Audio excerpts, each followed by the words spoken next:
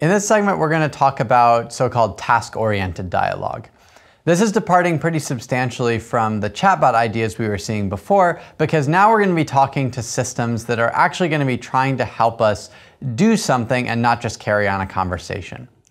So this comes back to ideas that we invoked at the very beginning of the course. Um, you know, the idea of having a conversation with Siri. We often want to talk to these personal assistants or basically API front ends and ask questions like, you know, find me a good sushi restaurant in Chelsea. Um, and hopefully Siri would say something like Sushi Seki Chelsea is a sushi restaurant in Chelsea with 4.4 stars on Google. And you ask, and then you can ask follow-up questions like how expensive is it? Uh, entrees are around $30 each. And then you might say, find me something cheaper. So th this is obviously very different than the chatbot setting in that if you throw this into one of the chatbots, you know, maybe there's some chance it would produce the name of a real restaurant, but uh, you know, it certainly wouldn't be able to accurately tell you what the prices are, um, or be able to handle this idea of like actually doing a search for a cheaper restaurant. Um, and another another kind of domain that often gets talked about is customer service. So you know, if you want to talk to uh, Amazon and ask why your uh, order's not here. Um, ideally, you would be able to do this through Alexa, um, and it would be able to say, okay, your order was scheduled to arrive at 4 p.m., and then you say it never came, and then you know it tries to figure figure things out, right? So the the kind of big difference here is that we actually need a model of what the user is trying to do. We need to back this up with real data, real databases, information about what the user's order was, rather than just kind of generating random crap to say from a language model. And plumbing all this together is going to require a lot of different ideas beyond what we saw in chatbots. So let's kind of look back at a little bit of a historical uh, view of this, people have been looking at this problem for a long time. Um, there was a uh, kind of system or, or, interface developed at DARPA in the early 90s called ATIS, the Air Traffic Information System or Air Travel Information System. Uh, where you have these questions uh, that you would ask on a phone, like how much is the cheapest flight from Boston to New York tomorrow morning? And so this is very domain specific. And so the system has two things. It has a goal or, or an intent. Um, and here in this case, the goal is airfare. I'm trying to tell you a price, right? Um, and then there are several fields that are effectively constraining a search. So the relative cost, you're looking for the cheapest, um, you know, and then the kind of parameters of the times and the places. So we talked about these kind of QA tasks before in the context of semantic parsing. We looked at this geoquery data set. And we could think of this in the same kind of lambda calculus expression. Uh, and, and in fact, when, when thinking about ATIS, many people are, uh, you, know, many, many, uh, many systems to it do treat it as a semantic parsing problem. But you can also view it as this, this kind of intent plus slot model.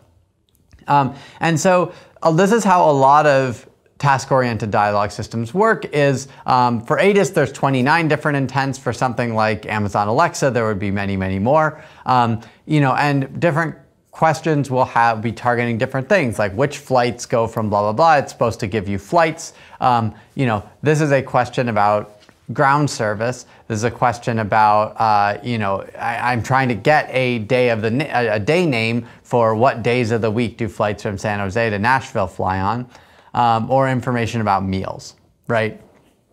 So when you have a system like uh, Amazon Alexa and you talk to it, you know, what it will do is it will try to figure out what uh, what sort of sub module it should use to answer your question. And so if you ask about setting an alarm, it has a set of intents and things like that uh, surrounding that domain.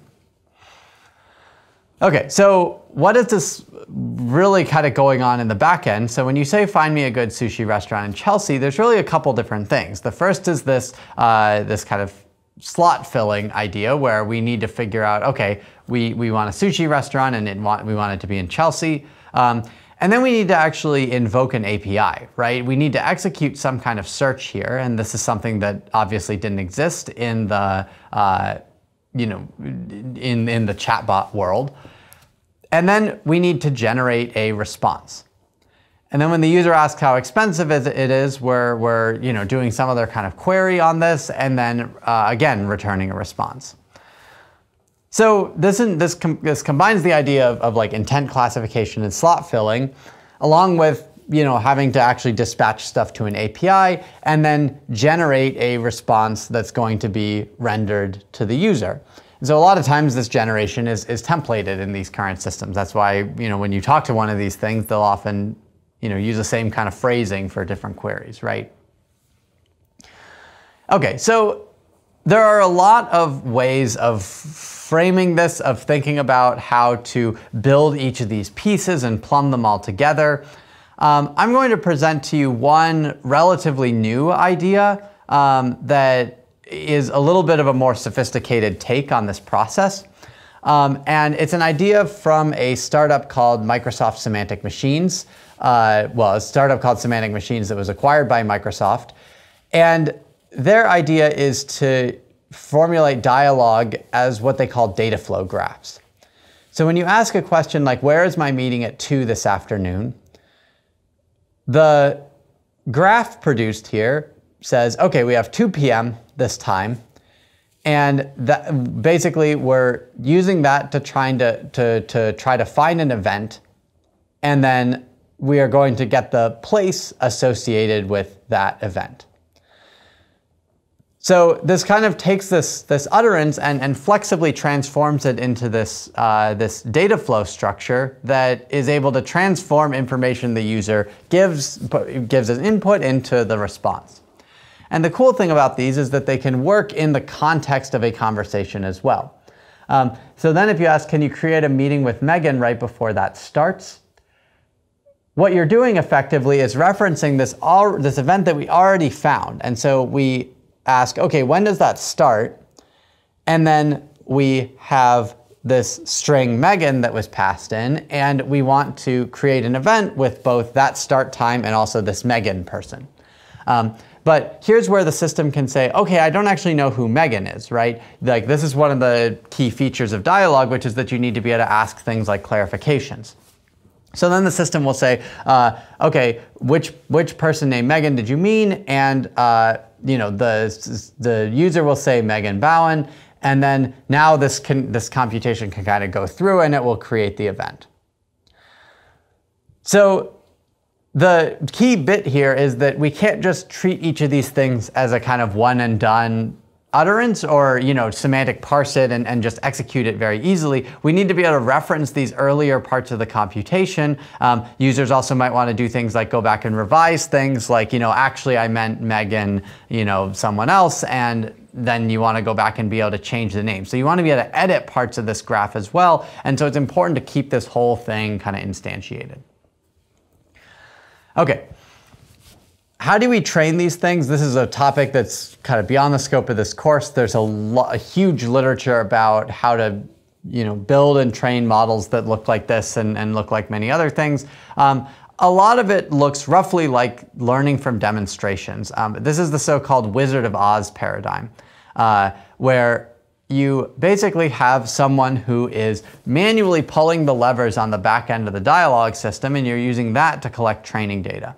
So when a user says, find me a good sushi restaurant in Chelsea, that response will get dispatched either kind of live on the fly or you know this data collection would happen static offline in advance.